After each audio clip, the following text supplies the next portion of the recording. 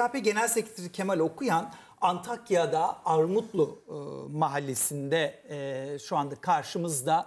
E, Kemal Bey doğru mu söyledim Armutlu mahallesi Evet, doğrudur. doğru mudur? Evet, Peki e, arkanızda e, bir çalışmalar görüyorum. E, ben doğru mu görüyorum? Biraz anlatır Evet, mısınız? Neredesiniz? Ne oluyor orada? Önce oradan başlayalım. Yani şimdi tabii e, depremin e, çok geniş bir alana yayıldığını biliyoruz hep, hepimiz. E, ama depremin en ciddi vurduğu yerleşimlerden bir tanesi Antakya. Ve Antakya'da Armutlu çok ağır bir hasar aldı. Ve biz dolayısıyla yani burada aslında şunu söyleyeyim. Genel olarak kentte oturulabilecek ev yok. Yani belki birkaç tanedir. E, bu kentin baştan aşağı yeniden yapılanması gerekiyor. Yani tahribatın boyutlarını anlatmak için söylüyorum. Şimdi biz e, buraya başka yerler olduğu gibi e, depremden hemen sonra hareket ettik arkadaşlarla. Buradaki arkadaşlarımız yardımcı oldular. E, ve burada bir e, hem kurtarma çalışmalarına katılıyoruz. E, hem de e, yardım dağıtım, Türkiye'nin dört bir yanından gelen e, yardımları, e, bizim partimize ulaşmış yardımları e, burada ihtiyaç sahiplerine dağıtıyoruz, dağıtmaya devam ediyoruz. Şimdi bu bizim yaptıklarımız. Ama e, şunu söylemem gerekiyor bu, bu, buradaki tabloda. Birincisi evet bu çok zor karşılaşacağımız yıkıcılıkta bir deprem. Bu, bu doğru. Yani bu depremin hasarsız atlatılması imkansız. Ancak öte yandan da e, bu depremin yıkıcılığı kadar şu da şaşırtıcı. Yani biz bu düzeni eleştiren insanlarız. E, bu düzene karşı mücadele ediyoruz ama bizi bile şaşırtacak bir dağınıklık, kaos, beceriksizlik söz konusu. Yani burada bir yönetememe krizi var. Dolayısıyla e, evet detaylar önemli, askerin rolü, e, kim ne yapar falan ama burada topyekün bir çöküş var. Bunu söylememiz gerekiyor. Yani bu efendim işte bu zor günde siyaset, zor günde işte biz buradayız. Yani biz e, bakın e, bütün arkadaşlarımız ellerinden geldiğince Türkiye'de aslında görevini yapması gerekenlerin yapamadıklarını yapıyoruz burada. Keşke Türkiye'de öyle bir sistem olsaydı ki devlet, siyasi iktidar hiç e, başka şeylere ihtiyaç duymaksızın tıkır tıkır işleseydi. Böyle bir şey yok. Ama biz buradayız. Elimizden geleni yapıyoruz. Ama şunu da söylemek zorundayız. Ortada inanılmaz bir kaos ve beceriksizlik var. Yani bunun boyutları birkaç gün sonra daha çok ortaya çıkacak. Şimdi biz sıcağı sıcağına hepimiz bütün Türkiye doğal olarak sizler de medya mensupları olarak e, meselenin işte insanların hayatıyla ilgili kısmına odaklanıyoruz. Doğrusu bu evet. Ama öte yandan da bu ülke birkaç hafta sonra ya da birkaç gün sonra acı gerçekle karşı karşıya gelecek muazzam bir yönetememe krizi var. Bakın hiçbir kamu kuruluşu hareket edemedi. Niye hareket edemedi? Çünkü insanları koşturmak zorunda olan kurumlar çöktü. Hastaneler çökünce yaralıların yardımına kimse gitmiyor. AFAD ekipleri deniyor. Birçok kentte AFAD merkezleri çöktü, AFAD personeli yaralandı. Yani ee, keza işte polis merkezleri çöktü. Yani kamu kurumlarının dayanıklı yapılması bir tane okul, hastane hasarsız yok. Şimdi böyle bir ortamda zaten e, halk kendi kaderiyle karşı karşıya kalıyor. Kendisi sorunlarını çözmek zorunda kalıyor. Ta, e, tablo bu açıkçası. Ve dediğim gibi bu yalnızca burada değil. Şimdi biz Maraş Maraş'ta çalışma yürütüyoruz, Malatya'da yürütüyoruz, Antep'te yürütüyoruz. Maraş, Adıyaman, Malatya ve Antakya. Burası gerçekten e, çok ağır bir tabloyla karşı karşıya. Bakın bugün biz parti olarak girilmemiş bazı köylere gittik.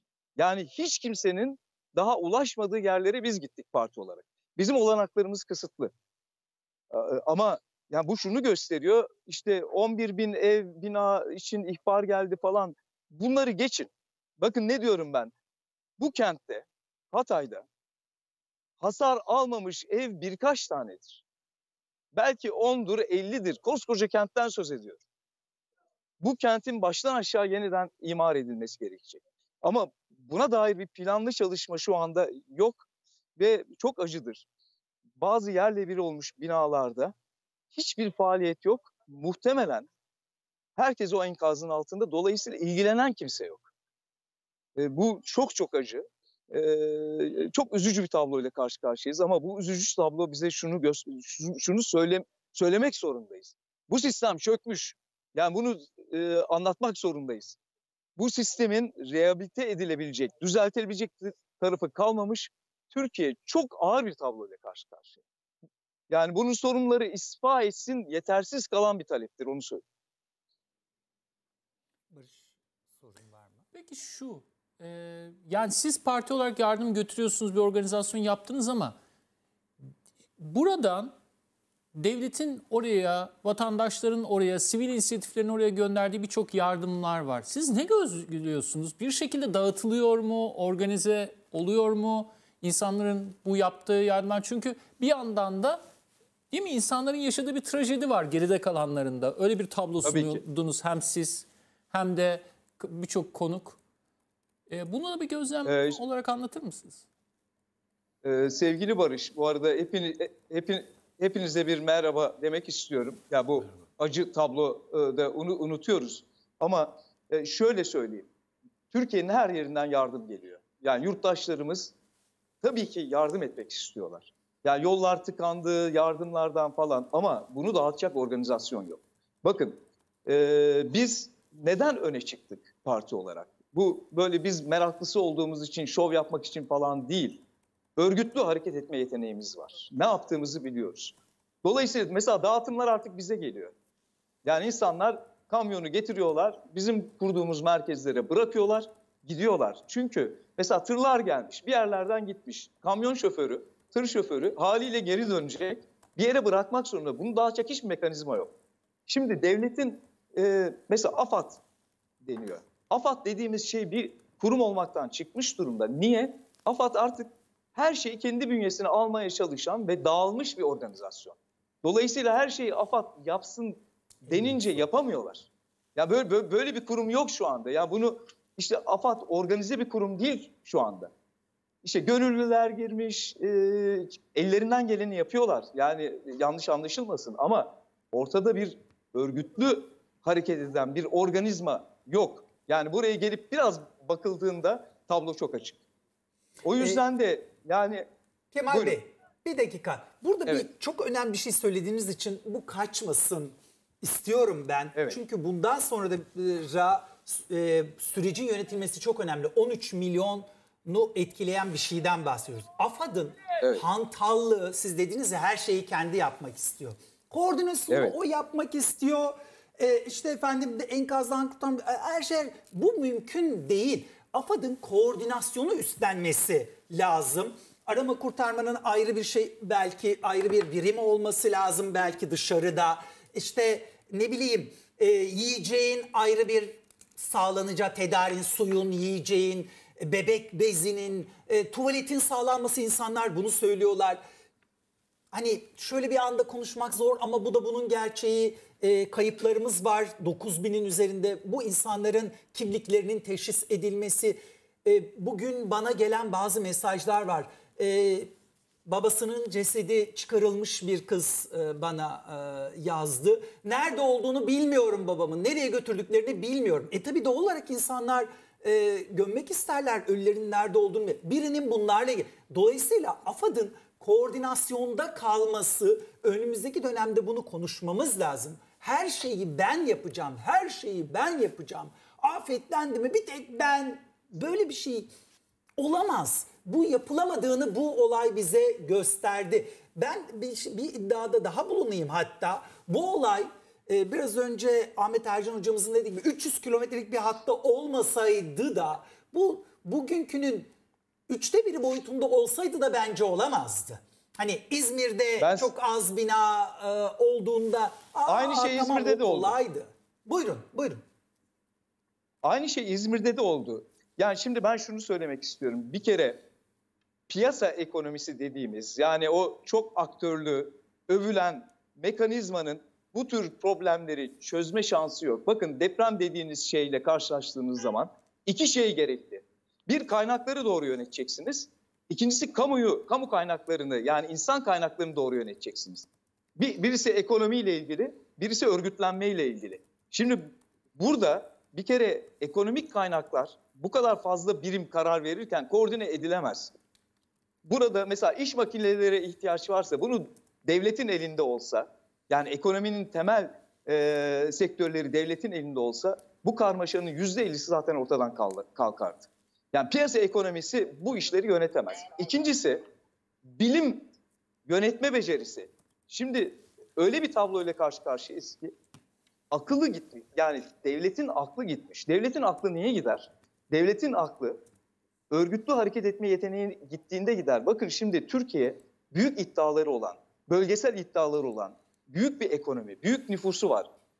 İşte bu iktidar 20 yıldır bir imparatorluk iddiasıyla hareket ediyor. Yani biz en azından öyle öyle adlandırıyoruz. Şimdi bu ülkenin ama aynı zamanda şu anda depremin ortaya çıkardığı tek bir sorunu yönetemiyor. Bakın trafik.